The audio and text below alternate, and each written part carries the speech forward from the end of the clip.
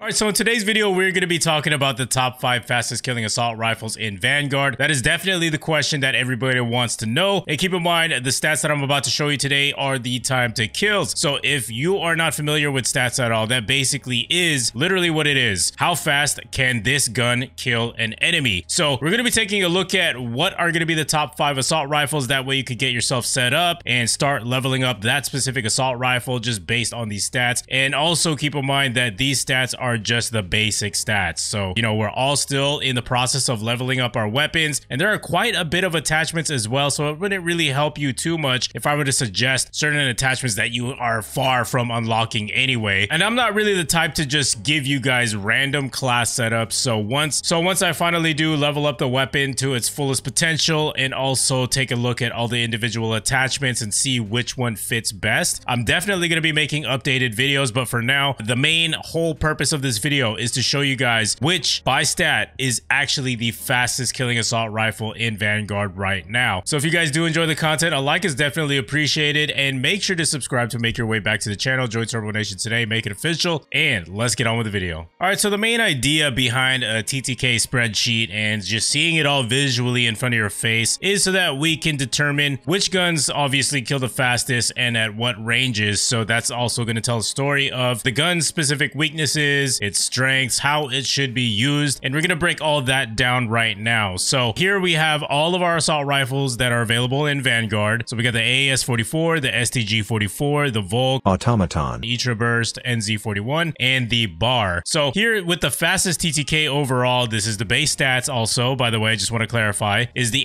AS-44 at 195 milliseconds up to that 34 meter range. So I've personally used the AS-44, haven't maxed it out yet, but I just gave it a try because of the stats that it was showing me. And uh, dude, this thing is an absolute beast of a monster. Definitely going to melt your opponents. Obviously, I mean, its TTK is significantly faster than the rest of the assault rifles in the game. Now, the one thing that it does have a weakness for is its recoil control. It's got an extremely high fire rate, so you really do have to keep your engagements up close and personal as much as you possibly can. Hence why it has the shortest or one of the shortest damage ranges for assault rifles at the fastest time to kill. So it just makes a little sense that it is a little bit more balanced here. And that is what Sledgehammer is going for, obviously. So next up, we do have the NZ41 at 240 milliseconds. Now, this is another really awesome assault rifle. Went ahead and also had to try this out. It's extremely dangerous on Das Haus. Basically, it's a playlist where uh, you're just playing Das Haus that's 24-7. And it's a very small to maybe medium size range map as far as your lines of sight go. Now, the reason why it's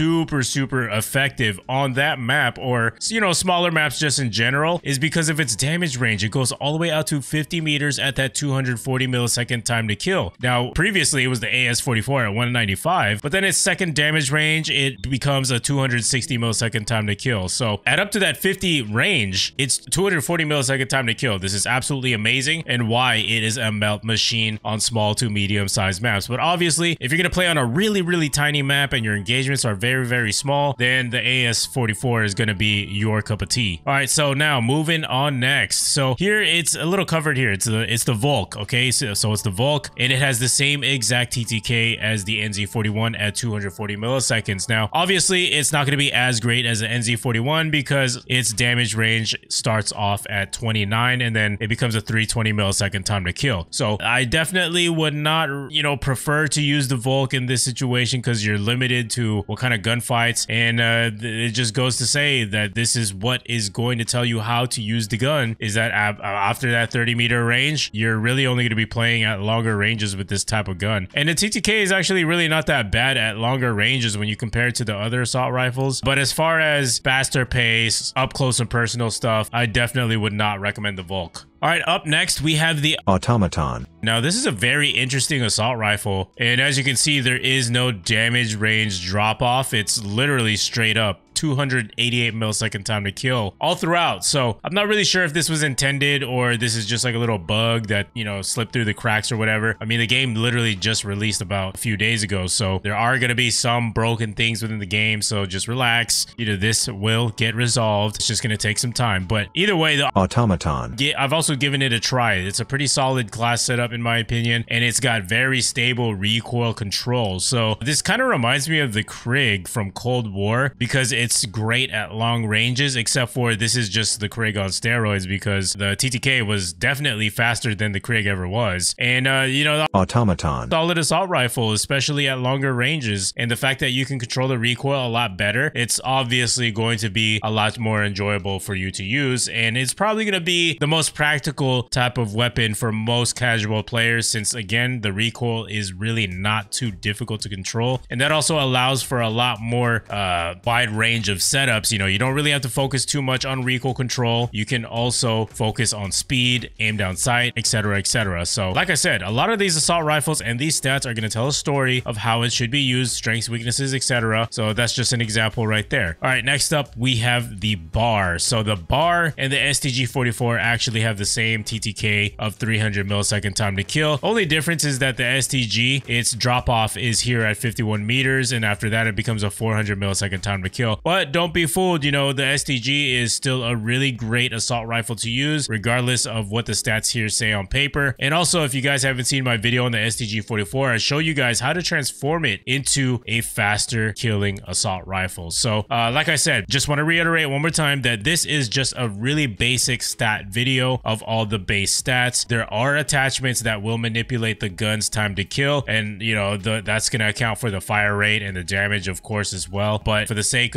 people just literally getting the game and leveling things up, let's just take it one step at a time. And also, I still need to level up stuff as well. But yeah, anyways, back to the video. So the bar is going to go up to that 64 meter range. So the range on the bar is actually really, really good. But like I said, why would you use the bar when you have a faster TTK with automaton that literally has no damage range drop off? So it was really good in the beta, but uh, obviously there have been some changes made that make it less inviting to use but i still like the stg 44 after that class setup so make sure to check that video out. It's pretty worthwhile. All right so next up we do have the Ultra Burst. So the Ultra Burst has a 306 millisecond time to kill and its damage range drop off is at 65 and then it becomes a 408 so clearly most of these assault rifles are going to be more effective from close to medium range. You just really have to be mindful of that. And also how the gun performs because like i said just because the as44 has a really fast TTK as well as the NZ41, you're going to realize once you start using them that they have pretty insane recoil. So you're going to have to outfit your class setups to be able to control the recoil as much as possible. All right, if I were to just cap this off and recommend only one assault rifle for your all-purpose type of needs. You know, this is a no-brainer. We're gonna go with the automaton because you know if you take a look at the automaton, like it has no weaknesses at all kinds of ranges. Whereas yes, this has a really fast TTK up to 34 meters, but you know what happens after that? It becomes a 260 millisecond time to kill. Yes, that's still faster than automaton. But like I said, there's a practical sense that you have to formulate here as well, besides what you see on paper. Because when you're using this AS44, you're gonna be like like, damn, I can't even compete at 60 whatever meters because it has pretty insane recoil. So it becomes kind of useless at that point. So that's where a gun like the Automaton is going to step in because it has very good recoil control and its TTK is pretty decent as well. So yeah, guys, this is just an introductory video just talking about all the assault rifles in the game and how I would rank it and my rationale behind my rankings as well, you know, besides the, the stats that we see here on paper. All right, so now I'm going to show you guys a couple recommendations for some of the assault rifles that I was able to use. So hopefully you guys do enjoy it. All right, welcome back to the Gunsmith. So we're going to go over these attachments pretty quickly here. As you know, there are so many attachments this year in Vanguard. And by the way, these are just general class recommendations that are subject to change because over time, obviously, as time goes on, the meta is always going to change. And obviously, we're still just beginning here with Vanguard. So this is just what I'm currently using right now. And it could change. You know, maybe someone might suggest something. I'll try it out I'll be like, okay, uh, I like it we'll go ahead and change it. So uh, here's the STG44 class setup. We got the recoil booster, the Krauseneck 220 Rapid, the slate reflector, VDD 34S weighted, the focus, fully loaded fabric grip, 7.6 Gorenko 30 round lengthened, and the hand stop. Now, as far as my secondary and the perks and all this stuff, it's all going to be the same for the most part. This is just personal preference. You can use whatever you want to for the secondary, but I like running with Ghost, Forward Intel, and Scavenger. If you don't have Scavenger yet, you can run Tactician. Tactician is great, and then you can use that in sync with your Stim Shot. And then for the lethal, if you don't have Demolition Charge, you can change that to the Gammon Bomb. Absolutely pretty solid setup, and that's going to be the same thing moving forward. All right, next up, we got the AS44 Absolute Beast up close. We got the recoil booster, the ZAC 650 millimeter precision, slate reflector, ZAC 12B custom, sleight of hand, fully loaded, pine tar grip, 30 Russian short 60 round mag, lengthened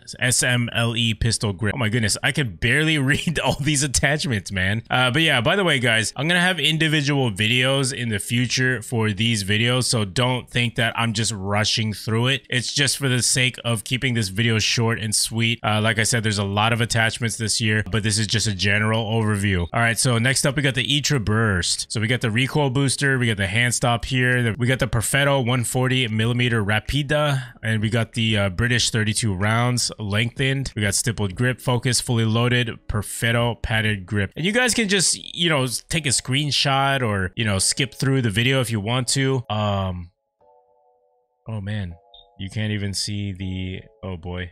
Gonna have to put it there then, I guess. Well, hopefully that helps uh, you guys be able to see. I'm gonna have to put my face cam there. All right, uh, moving on here. So we got the automaton, we got the recoil booster, Carver grip, Sakura 75 rounds, lengthened, stippled grip, sleight of hand, fully loaded, ZAC skeletal, slate reflector, Anastasia sniper. And again, there are going to be timestamps in the video for your convenience. NZ71 right here. We got the recoil booster, hand stop. We got the Sakura 45 round. We got lengthened, stippled grip, Frenzy. Frenzy is a pretty awesome proficiency right here. Health regeneration after kills. And this is going to be amazing when you're going on streaks. And remember, the NZ41 has an amazing TTK, so it's just going to go hand in hand. So we got the Orb Weaver Elite, Slate Reflector, and Ravenwood 480 millimeters. So that's about it as far as my top five that I would definitely recommend to you guys. Again, like I said, this is just a general overview so you guys get an understanding of the baseline of where these assault rifles stack up against each other. But if you guys did find today's video informational or enjoyable, a like is definitely appreciated. And make sure to subscribe if you're brand new around here to make your way back to the channel. Join Turbo Nation today, make it official. And I'll see you guys at the next one. The automation, automation, automation, automation, automation, automation, automation, automation, automation, automation, automation.